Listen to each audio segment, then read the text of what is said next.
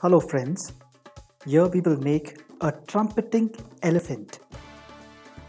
You can see how it trumpets. We will need a square paper. We will give a triangular fold with color inside. We will open it, bring the edge to the diagonal line. So we make a kite fold bringing both the sides to the central line. We have now made the kite fold. We will open it, bring the outer edge to this fold line.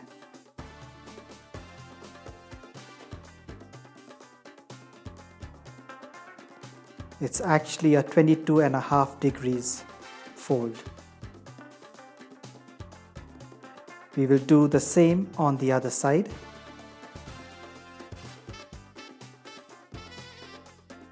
Bringing it to the 22 and a half degrees.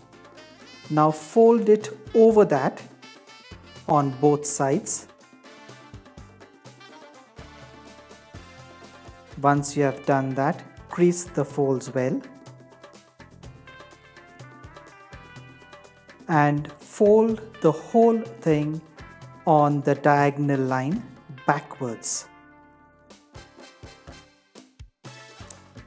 We will now find the midpoint by bringing the two corners together.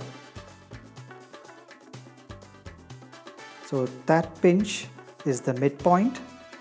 From there we will fold it backward push that back from the pinch mark and you will form an L.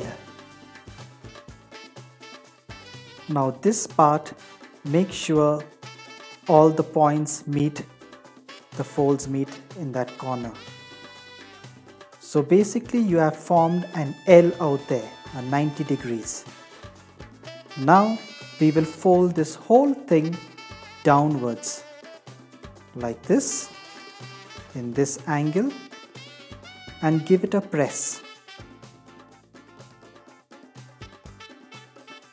Now we will open it and we will give a reverse fold pushing that part inside and folding the front downwards and we close it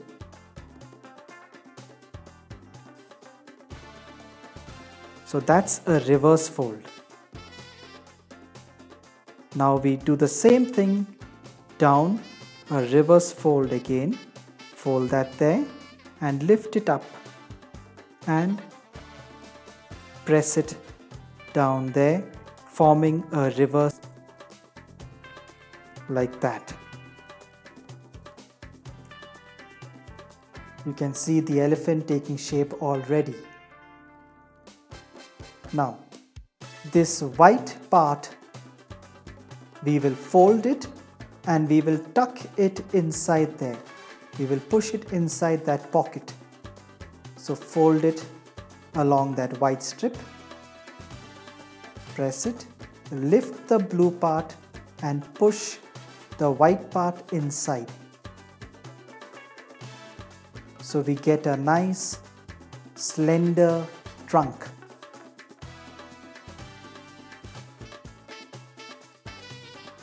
Now the back, when you open this part, you will see this blue and white line. Fold that along that line inside. Same thing on the other side. When you open it, fold it along that blue and white line.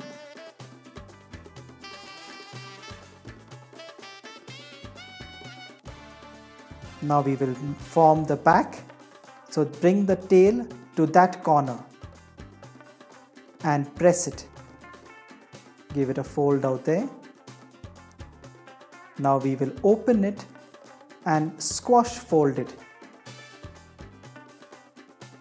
forming into a square.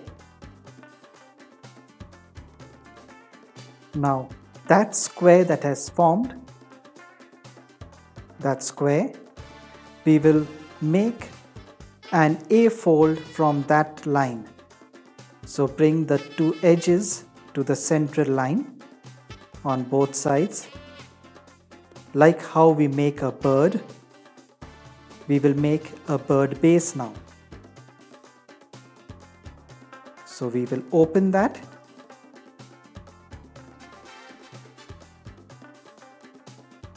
lift that part and fold it like a boat.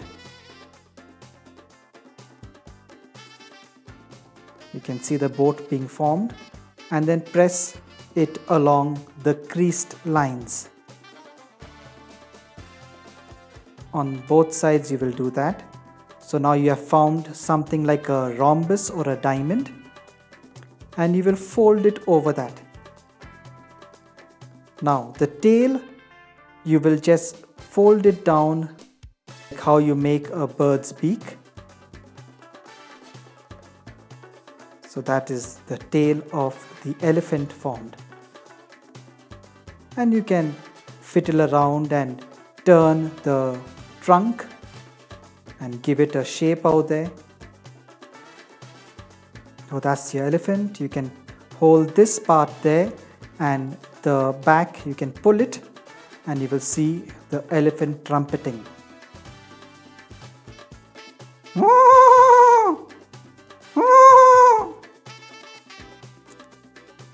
I hope you enjoyed making the elephant. You can put your eyes. For more videos, please subscribe to Maurice Fun to Learn. Have a nice day. Enjoy the trumpeting elephant